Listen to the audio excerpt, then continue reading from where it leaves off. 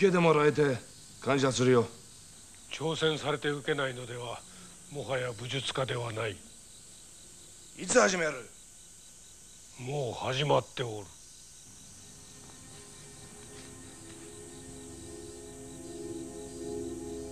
やる気がないならそう言え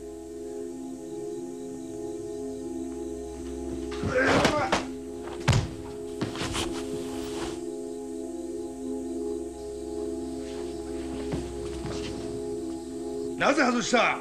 君が本気じゃなかったからだ。今の蹴りは私を倒すためには加減しなかったが殺さないようには加減してたはずだ。しかし戦意を見せていない私を攻撃してきたのはやはり君が本物だということかな。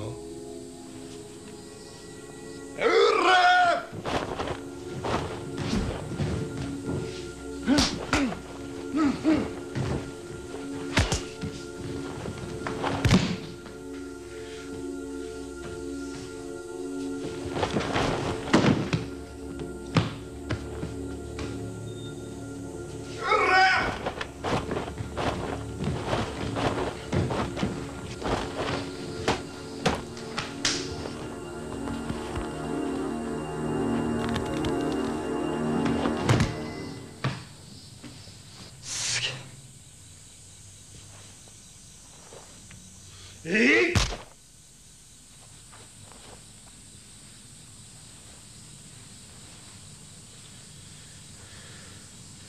丹波君君のその恐るべき貢献がなぜこの私を捕らえることができないと思う？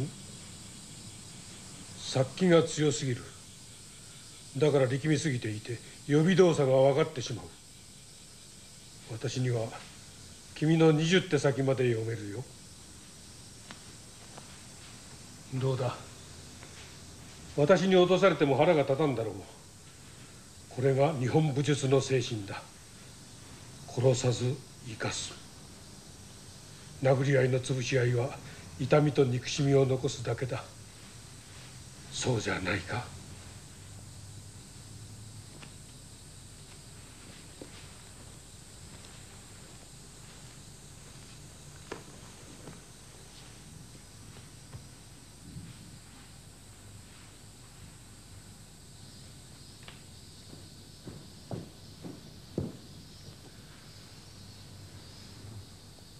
泉先生に負けるのは仕方ありませんよ。重欲豪を制す。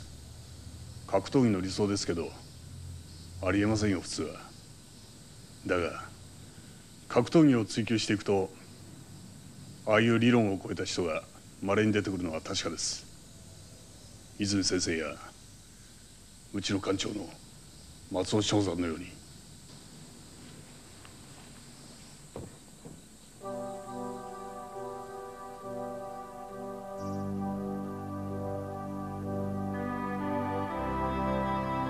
丹波君君はプロレスラーに関節技で負けたから三歩を習った。空手の次は三歩それぞれ独立した技を合わせてもどちらも中途半端になるだけだ。打撃も組み技も生かすにはこの竹宮流しかない。君が竹宮流を習得すれば恐るべき格闘家になるだろう。